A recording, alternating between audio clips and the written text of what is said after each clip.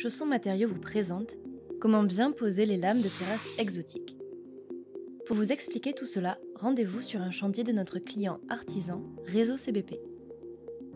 Ici, la pose s'effectue sur pilotis, c'est-à-dire des lambourdes fixées dans du béton avec un ferraillage. C'est une technique privilégiée par Réseau CBP afin d'avoir une terrasse bien aérée et solide. L'essence de bois exotique posée sur ce chantier et vendue par Chausson Matériaux s'appelle le Tata Juba. Elle est originaire d'Amérique du Sud et réputée naturellement durable et résistante. Parfait pour des abords de piscine. Un détail essentiel, les lambourdes doivent être de la même essence que les lames. Pour le matériel, vous aurez principalement besoin d'électroportatifs, une perceuse visseuse, une ponceuse excentrique et une scie circulaire, de matériel plus classique, des gants, un niveau à bulles long, un mètre et un crayon de papier, d'outillage spécifique pour la pose de terrasse, un serre-lame, des espaceurs, un fourré étagé et des vis inox à double filetage pour le bois exotique.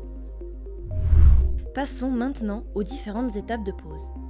Positionnez la première lame de façon à ce qu'elle soit perpendiculaire au lambourd. Vérifiez la planéité et la perpendicularité, puis fixez cette première lame au lambourde. Positionnez la lame suivante par rapport à cette première lame Posez les espaceurs entre les deux lames. Ce sont des cales qui vont permettre aux lames d'avoir exactement le même espacement entre elles. Resserrez les lames entre elles avec le serre-lame pour éviter qu'il y ait du jeu.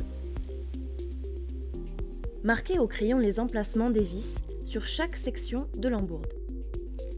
Ensuite, effectuez un pré-perçage avec un forêt étagé, et cela pour plusieurs raisons. En premier, car le bois exotique est dense, vous éviterez donc de le fendre et en second car ce forêt permet de créer le chanfrein pour mettre la tête de vis à fleur de la lame. Puis visser en utilisant les vis inox. Pour plus d'informations, n'hésitez pas à regarder notre première vidéo sur le sujet pour tout savoir sur le matériel de fixation spécialisé. Poncez avec un grain très doux pour enlever les éventuels éclats de bois. Puis recommencez la même opération pour chaque lame sur l'intégralité de la terrasse. Voici quelques conseils de pro. Ce qu'il est conseillé de faire. Numéro 1, l'ossature sur laquelle vous posez vos lames doit être totalement nivelée. Numéro 2, effectuez un calpinage précis. Numéro 3, les lambourdes doivent être perpendiculaires aux lames. Numéro 4, les vis à double filetage. Elles sont essentielles et permettent de débourrer l'excédent de bois. Ce qu'il faudrait éviter. Numéro 1, une terrasse pas assez haute. C'est un risque trop important de dégradation dû à la rétention de l'humidité. La terrasse doit respirer.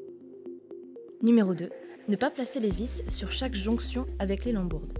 Si vous faites ainsi, les lames seront plus susceptibles de gondoler. Numéro 3, ne pas assez espacer les lames entre elles.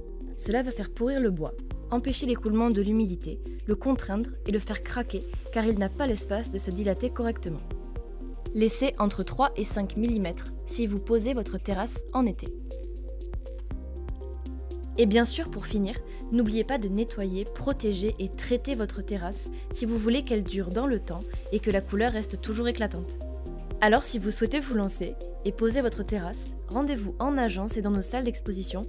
Nos équipes sont là pour vous conseiller et vous aiguiller dans votre choix. Retrouvez également notre sélection d'outillage et nos produits complémentaires sur chausson.fr ainsi qu'un article dédié à la pose de terrasse.